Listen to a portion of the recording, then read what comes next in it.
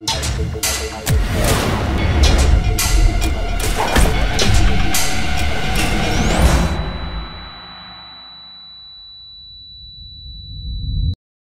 guys, this is Nipan from Nipan Studio again. So, today we're going to do something extremely awesome. Okay, so let's take a look.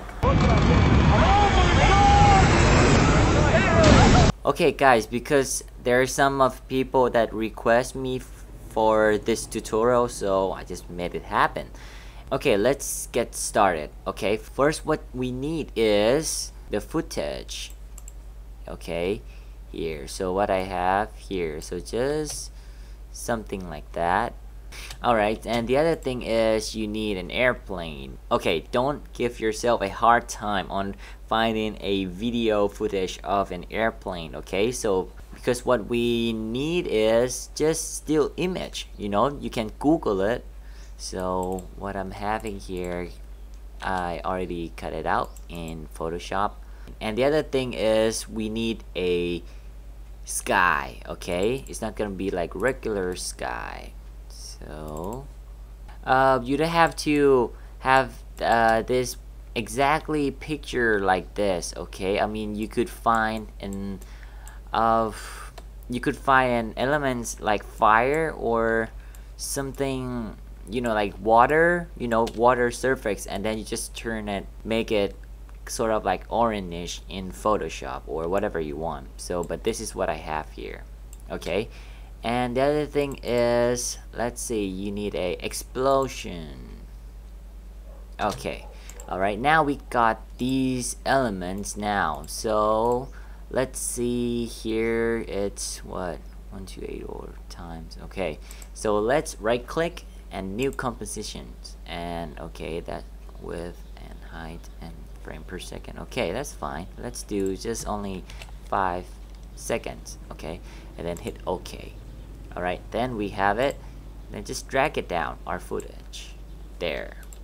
Okay and then let's do the sky first okay? Um okay alright uh, what I'm going to do is right click and open a new composition.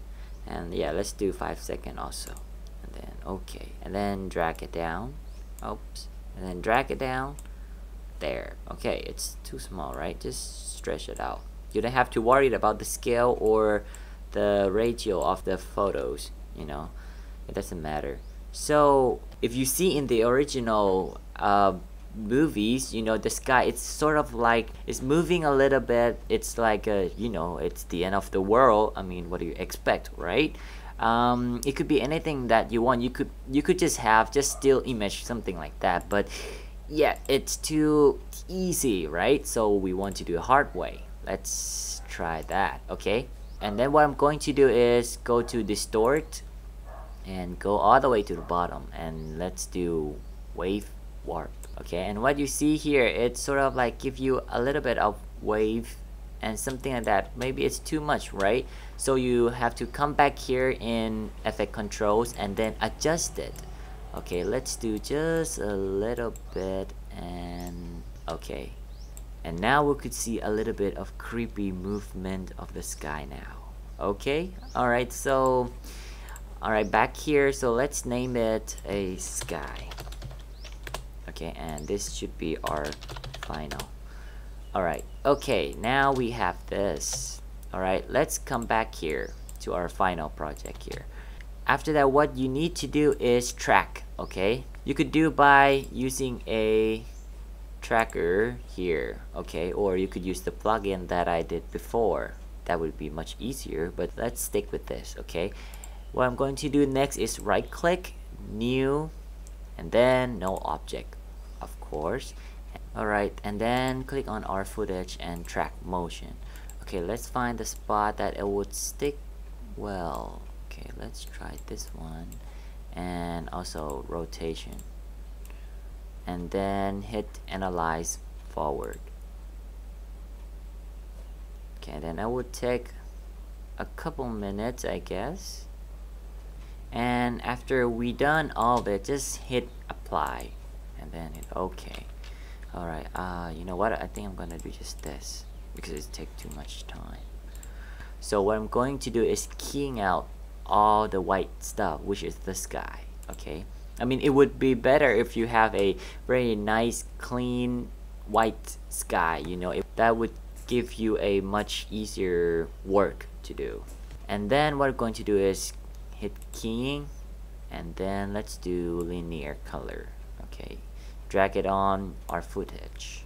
And then just you know point it into the white color. And that see that's pretty good job but we got the things there. I don't think we need it so. Okay that's pretty good actually. We might get a little bit stuff there but don't worry that would be fine. And then what we need is we need the sky to stick on no object so just parent it to no object and then hide it. Alright okay. And then the next thing is let's do the airplane. Okay let's drag it down. So you've got an airplane maybe just rotate it this way a little bit. So we go all the way here. And then let's keyframe it position and then parent it to no object also okay and then let's go all the way kaboom. Alright. Alright that's too fast right? Okay, let's make it slower. Okay a little bit more. Okay that's pretty good right? The other thing let's do color correction here. Let's do color balance. Okay here it's depend on you okay? If you like to use curve that would be fine too. Okay and also the airplane. Drag. Alright and then just turn on the motion blur and let's see. Let's do brightness and contrast for the footage here. So we give a little bit of very nice contrast there. And adjust this a little bit you know just let's say it's you know it's the end of the world and then the power is off and that's why. Okay and then let's do an explosion. Okay so what I have here is explosion something like this. So just drag it down. Alright and then just get the shot that we need and put in the right position where the airplane hits. Alright okay and don't forget to parent it to no object okay and let's solo that so we could key it out. So I'm going to keying and let's do key light okay? Here. Drag it down and then just hit on that. Let's adjust this a little bit. And okay. Unsoloed that. Alright okay that's fine right? And let's do another thing is color correction. So I'm going to use color balance again and let's make it sort of like orange. Okay. And if you turn on the motion blurs and you know that just be fine. And I think I'm going to flip the sky here. Okay. And make it go up a little bit.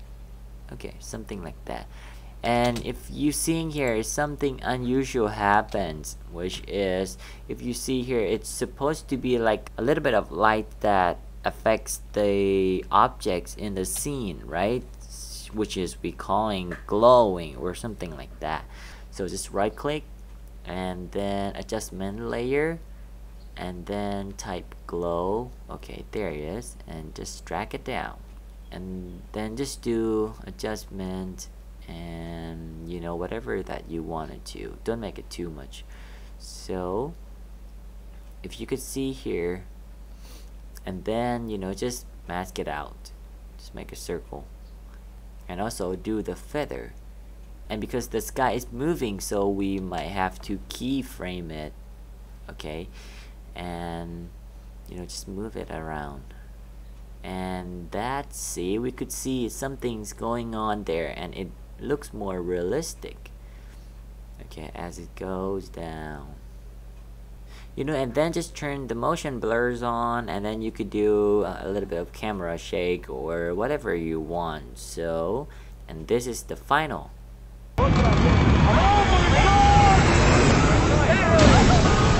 Okay so hope you enjoyed it and hope it helps you and if you have any comments just please feel free to give me a comment or uh, anything you want okay? Thank you for watching this tutorial and I'll see you guys next time. God bless you. Bye bye